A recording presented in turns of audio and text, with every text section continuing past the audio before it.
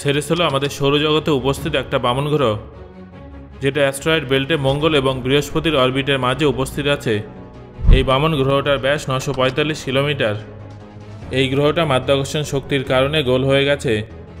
এই গ্রহটা আমাদের অভ্যন্তরীণ সৌরজগতে উপস্থিত একমাত্র বামন গ্রহ এবং অ্যাস্ট্রয়েড বেল্টে খুঁজে পাওয়া প্রথম গ্রহ, যেটা আঠেরোশো এক সালে প্রথম অনুসন্ধান করা হয়েছিল। দু হাজার পনেরো সালে ডন স্পেসক্রাফট যখন এই গ্রহের সামনে দিয়ে যাচ্ছিল, তখন এই মহাকাশ যানটা প্রথমবার এই বামন গ্রহে যাত্রা করার রেকর্ড তৈরি করেছিল। প্রারম্ভিক পর্যায়ে দীর্ঘদিন পর্যন্ত বিজ্ঞানীদের ধারণা ছিল যে এই গ্রহটা একটা গ্রহাণু হতে পারে, কিন্তু সেরেসের আকার তার প্রতিবেশী গ্রহাণুদের তুলনায় অনেক বড় ছিল। যার ফলে দু হাজার ছয় সালে বিজ্ঞানীরা এই গ্রহটাকে রকি প্ল্যানেট বলে চিহ্নিত করেন। যদিও সেরেস অ্যাস্ট্রয়েড বেল্টের টোয়েন্টি ফাইভ পার্সেন্ট ভর বহন করে কিন্তু তাও প্লুটো এই গ্রহের তুলনায় চোদ্দ গুণ বেশি বড়। সেরেসের নাম রোমান দেবী কর্ন অ্যান্ড হারভেস্টের নাম অনুসারে রাখা হয়েছে। এই নাম থেকেই সিরিয়াল শব্দটা এসেছে। এই বামন গ্রহে সমুদ্রের উপস্থিতির প্রমাণ পাওয়া গেছে। তাই অনুমান করা হচ্ছে যে, এখানে প্রাণের অস্তিত্ব থাকলেও থাকতে পারে।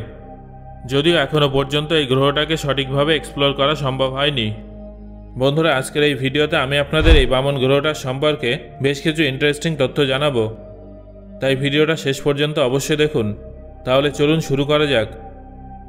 Number one size and distance এই বামন গ্রহের আকারের কথা বললে এর ব্যাসার্ধ চারশো ছিয়াত্তর কিলোমিটার। পৃথিবী যদি একটা কয়েনের সমান হয়ে থাকে, তাহলে সেরেস পোস্তর দানার আকারের সমান হবে। সেরেস সূর্য থেকে two point eight astronomical unit দূরে আছে। সূর্য এবং পৃথিবীর মধ্যে এক অ্যাস্ট্রোনমিক্যাল ইউনিট দূরত্ব আছে। আমরা যদি এই দূরত্বের উপরে ফোকাস করি, তাহলে দেখব যে সূর্যরশ্মি সেরেসে পৌঁছাতে বাইশ মিনিট সময় লাগে। Number two orbit and rotation সমস্ত গ্রহের মতো সেরেসও সূর্যকে অরবিট করে। সূর্যের চারিদিকে সেরেসের একবার প্রদক্ষিণ করতে ষোলোশো বিরাশি দিন, অর্থাৎ পৃথিবীর ফোর পয়েন্ট সিক্স বছর সময় লাগে। নিজের অক্ষের উপরে এক পাক সম্পূর্ণ প্রদক্ষিণ করতে এই বামন গ্রহটা ন ঘণ্টা সময় লাগে, যার ফলে এখানে দিন অনেক ছোট হয়। সূর্যের চারিদিকে সেরেসের অ্যাক্সিস অফ রোটেশন চার ডিগ্রি ঝুঁকে আছে, যার মানে এই গ্রহটা সম্পূর্ণরূপে আবর্তন করে এবং সৌরজগতে উপস্থিত অন্যান্য ঝুঁকে থাকা গ্রহগুলোর মতো আবহাওয়ার অভিজ্ঞতাগুলো লাভ করতে পারে না। নাম্বার থ্রি ফরমেশন ডেটা অনুযায়ী সেরেসের ফরমেশন আমাদের সৌরজগতের ফরমেশনের সময় হয়েছে মানে ফোর পয়েন্ট ফাইভ বিলিয়ন বছর আগে।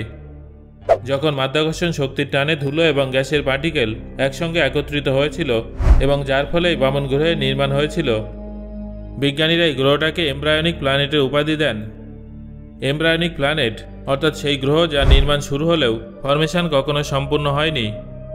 অর্থাৎ সেটা অসম্পূর্ণই থেকে গেছে। বিজ্ঞানীদের মতে বৃহস্পতি মাধ্যাকর্ষণ এই গ্রহটার ফরমেশনে বাধা সৃষ্টি করেছিল, আর সেই জন্যই হয়তো আনুমানিক চার বিলিয়ন বছর আগে সেরেস মঙ্গল এবং বৃহস্পতির মাঝে উপস্থিত অ্যাস্ট্রয়েড বেল্টে গ্রহের গঠনের অবশিষ্ট অংশের মধ্যে আটকে যায়। Number four structure. সেরেসের ফরমেশন অনেকটা সৌর জগতের অন্যান্য গ্রহগুলোর মতোই। এই গ্রহটার সঙ্গে বুধ, পৃথিবী এবং শুক্র গ্রহের অনেকটাই মিল আছে। পার্থক্য শুধু এটাই যে, এই গ্রহের ঘনত্ব কিছুটা কম। সৌরজগতের অন্যান্য গ্রহগুলোর মতোই এই গ্রহের অভ্যন্তর ভাগে বিভিন্ন স্তর দেখা যায়। তবে এই গ্রহের অভ্যন্তর ভাগের স্তর বিন্যাসগুলো সম্পূর্ণরূপে স্পষ্ট নয়। মনে করা হয় যে সেরেস বরফ এবং পাথর দ্বারা তৈরি। বেশিরভাগ বিজ্ঞানীদের অনুমান অনুযায়ী, এর পৃষ্ঠ বরফময় এবং অভ্যন্তরীণ অংশ পাথুরে, আবার পাথর এবং বরফের মাঝে জলের একটা পুরো আস্তরও থাকতে পারে। আবার সেরেসের টোয়েন্টি ফাইভ পার্সেন্ট জল থাকতে পারে। এই অনুমানটা সত্যি হলে পৃথিবীর তুলনায় সেরেসে অধিক জল থাকবে বলে অনুমান করা হয়। বিজ্ঞানীদের মতে, এই গ্রহে প্রচুর পরিমাণে লবণের ভাণ্ডারও থাকতে পারে। যদিও এই গ্রহে উপস্থিত লবণ সোডিয়াম ক্লোরাইডের মতো নয়, বরং ম্যাগনেশিয়াম সালফেটের মতো ভিন্ন উপাদান দ্বারা তৈরি। Number five, surface. সেরেসের ভূপৃষ্ঠে অনেক ধরনের ছোট বড় ক্যারেটার আছে, তবে দুশো আশি কিলোমিটারের বেশি ডায়ামিটার যুক্ত একটাও ক্যারেটার নেই। এই বিষয়টা ভীষণই আশ্চর্যজনক, কারণ এই গ্রহটা প্রায় সাড়ে চার বিলিয়ন বছর আগে সৃষ্টি হয়েছে। সেই সময় পর্বে এই গ্রহটা একাধিক বড় গ্রহাণুর সঙ্গে ধাক্কা খেয়েছে, কিন্তু তাও এই গ্রহে সুবিশাল কোনো ক্যারেটারের অস্তিত্ব নেই।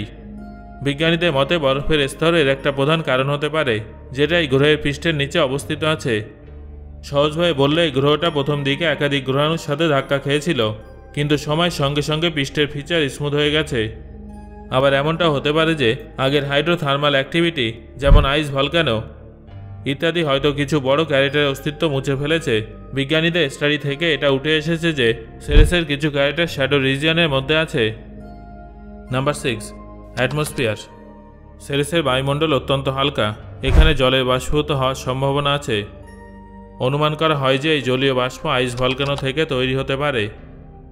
Number seven potential for life Ceres হলো আমাদের সৌরজগতে নির্বাচিত কিছু স্থানগুলোর মধ্যে অন্যতম, যেখানে বিজ্ঞানীরা প্রাণের অস্তিত্বের সম্ভাবনা আছে বলে মনে করেন। আসলে এই গ্রহের মধ্যে জল আছে, যেটা সমস্ত গ্রহে থাকে না। মানব জীবনের জন্য জল কতটা প্রয়োজনীয়, সেটা তো আপনারা সবাই জানেন। হয়তো এই গ্রহেও প্রাণের সংকেত পাওয়া যেতে পারে। যদি সত্যি এই গ্রহে প্রাণের অস্তিত্ব থেকে থাকে, তাহলে সেই প্রাণ ছোট জীবাণু কিংবা ব্যাকটেরিয়া রূপেও থাকতে পারে। যদিও বর্তমানে এই গ্রহে প্রাণের অস্তিত্ব নেই, তবে ইতিহাসে হয়তো এই গ্রহে প্রাণের অস্তিত্ব ছিল। Number eight, bright spots and lonely mountains. দু সালের ছয় মার্চ নাসার ড্রন স্পেসক্রাফট সৌরজগতে দুটো গ্রহাণুকে প্রদক্ষিণকারী প্রথম মহাকাশ যান হিসেবে গুরুত্বপূর্ণ অবদান রেখেছিল। ভেস্তা গ্রহাণুর যাত্রার পর এই মহাকাশ যানটা সেরেসের দিকে এগিয়ে গিয়েছিল। এই মহাকাশ যানটার সাহায্যে আমরা জানতে পেরেছিলাম যে সেরেস একটা আইস ওয়াটার বডি যদিও বেশিরভাগ গ্রহাণু শিলা দ্বারা তৈরি হয়, তবে স্টাডি থেকে এটা জানা যায় যে এই গ্রহে জলের উপস্থিতি থাকতে পারে। স্টাডি অনুযায়ী গ্রহের অর্ধেকের বেশি অংশ গ্রে। এই গ্রহে কোনো ধরনের গ্রাফাইট উপস্থিত থাকতে পারে। এই গ্রাফাইটের কারণে এর রং গ্রে বলে অনুমান করা হয়। তবে বিজ্ঞানীদের মতে, এই গ্রহে এখনও পর্যন্ত গ্রাফাইট সম্পূর্ণরূপে বিকাশ লাভ করেনি। Number nine once a water Dawn স্পেসক্রাফটের থেকে পাতত্ত্বের ভিত্তিতে এবং বিজ্ঞানীদের স্টাডি থেকে অনুমান করা হয় যে, একসময় এই গ্রহে জলের সমুদ্র ছিল। বরফময় পৃষ্ঠের পর্যবেক্ষণ করে আমরা এই গ্রহের ক্রাস্টে উপস্থিত সমুদ্রে উপস্থিতির প্রমাণ পাই। পাশাপাশি জানতে পারি যে এর ম্যান্টেল আবর্জনাযুক্ত, যার ফলে অনুমান আরও স্পষ্ট হয়ে যায় যে একটা সময় হয়তো সত্যি এখানে সমুদ্রের উপস্থিতি ছিল। সেরেসের ঘনত্ব দুই দশমিক শূন্য নয় গ্রাম প্রতি ঘন সেন্টিমিটার, যার ফলে বিজ্ঞানীরা বিশ্বাস করেন যে এর এক চতুর্থাংশ ওজন হলো এর মধ্যে উপস্থিত জলের ওজন।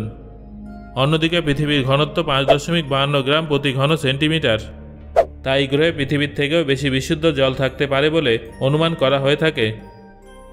Number ten source of earth water বন্ধুরা, যেমনটা আপনাদের আগেই বললাম যে অ্যাস্ট্রয়েড বেল্টে উপস্থিত সেরেসে প্রচুর পরিমাণে বরফ আছে। এর একটা মানে কিন্তু এটা হতে পারে যে, প্রারম্ভিক সৌরজগতে হয়তো সেরেসের মতো আরও অনেক গ্রহ ছিল, যার মধ্যে প্রচুর পরিমাণে জলের উপস্থিতি ছিল এবং হয়তো সেই সমস্ত গ্রহ পৃথিবীর সঙ্গে ধাক্কা খেয়েছিল, যার ফলে পৃথিবীতে জলের আগমন হয়েছিল। সোলার সিস্টেম মডিউল অনুযায়ী পৃথিবী মূলত পাথুরে গ্রহ ছিল। এর পৃষ্ঠে যতটুকু জল অবশিষ্ট ছিল, সেটা প্রোটো প্ল্যানেটের সংঘর্ষের কারণে বাষ্পীভূত হয়ে গিয়েছিল। এই ঘটনার মাধ্যমে চাঁদের সৃষ্টি হয়, কিন্তু পৃথিবী থেকে সমস্ত জল উবে যায়। বিজ্ঞানীরা আজও বিশ্বাস করেন যে, অ্যাস্ট্রয়েড বেল্টে এই ধরনের কোনো গ্রহের কারণে পৃথিবীতে জলের আগমন ঘটেছে। সো বন্ধুরা, সেরেস নামের এই বামন গ্রহটা সম্পর্কে জানার পর, এখন আপনার কি মনে হচ্ছে? এখানে কি জলের অস্তিত্ব থাকতে পারে? আর যদি সত্যি এখানে জলের অস্তিত্ব থেকে থাকে, তাহলে কি এখানে কোনো প্রাণের উপস্থিতির সম্ভাবনা আছে? আপনার মতামত অবশ্যই আমাকে কমেন্ট করে জানান।